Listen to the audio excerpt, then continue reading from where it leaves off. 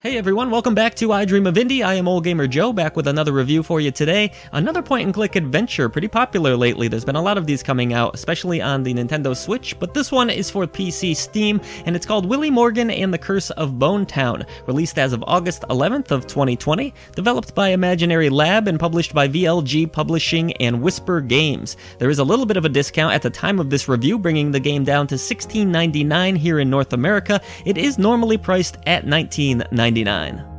Okay, we can get the obvious comparison out of the way here. A pirate-themed point-and-click adventure game, Monkey Island. Of course, there is some inspiration. I don't even think the developers would try to deny that. But what does Willy Morgan and the Curse of Bone Town do to stand out? Well, if I'm being honest with you, it doesn't really do much different from its predecessors. But the game does tell a pretty decent story, with Willy receiving a letter from his father dated from 10 years ago. This letter says that, Willy, I am in trouble. Something has gone terribly wrong on my my expedition, please help me out. Willy sets out to Bone Town from that point on, only to find that his father was quite popular and well known in that area, and this leads to more and more mysteries being unraveled around the disappearance.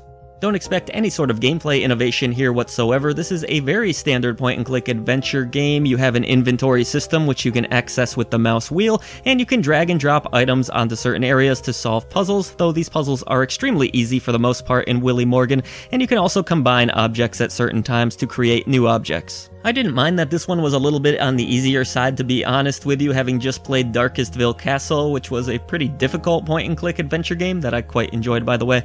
But yeah, overall these puzzles aren't too hard to figure out. This is sort of a relaxing point and click adventure game. The world of Bone Town seems interesting enough, but unfortunately some really wooden voice acting takes you out of this experience. I found that the lead character was a little bit grating, and the other characters that you come across aren't particularly well voice acted either, which is a bit of a shame. Now I know this is a genre of games that isn't known for its outstanding voice acting, though in some cases there have been some great performances, but I do think you need a little bit of charisma or emotion when you're performing voice acting, and unfortunately that's not the case here. Still, though, the writing is solid enough throughout this 3 to 4 hour adventure. It keeps you engaged, but I do wish that the acting had been improved upon a little bit. That said, though, graphically, this is not a terrible looking game whatsoever. The animations are a little bit on the stiff side, but I enjoyed all of the different environments and areas that you get to explore in Bone Town. The character models aren't terrible, a little bit of a cartoony look here. I do feel like the town, and I know this is kind of part of the story, but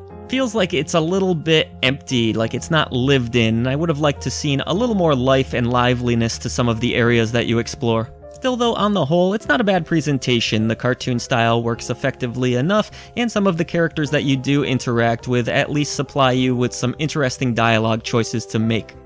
As far as the soundtrack goes, it's not half bad, reminds me a bit of the early days of point and click adventure games. I did feel like some songs were better than others, and maybe these melodies could have been developed a little bit further, but it gets the job done. It's suitable for the most part for the environments that you find yourself in. They're not memorable compositions, but they work okay.